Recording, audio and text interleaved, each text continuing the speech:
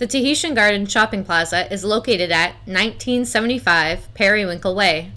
Take a stroll to the many fine shops and restaurants, and you are sure to find everything you could want, including home decor, souvenirs, clothing and shoes, books, toys, jewelry, and even Christmas decor. You just never know what you will find. After you've worked up an appetite browsing the plaza, be sure to stop by Cheeburger Cheeburger and try their Pounder Challenge, along with one of their classic homemade milkshakes. Yum! The plaza is also home to one of the island's most popular breakfast spots, the Sanibel Island Cafe. There is something for everyone at the Tahitian Gardens on Sanibel, so visit it today.